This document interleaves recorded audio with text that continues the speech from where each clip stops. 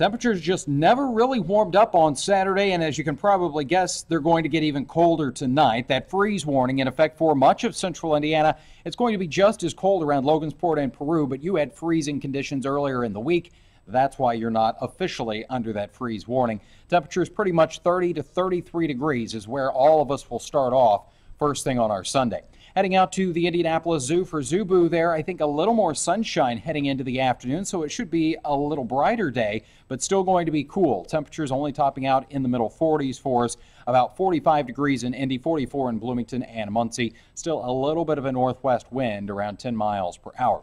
Making those plans for trick or treating for the kids on Tuesday evening. I think we're going to be dry. Sunset there at 643 and temperatures in the lower 40s, so may need to layer up under those costumes Tuesday evening. Seven day planning forecast. There is a little bit of a warming trend coming our way, but it also comes with some rain showers for the middle and end of the week.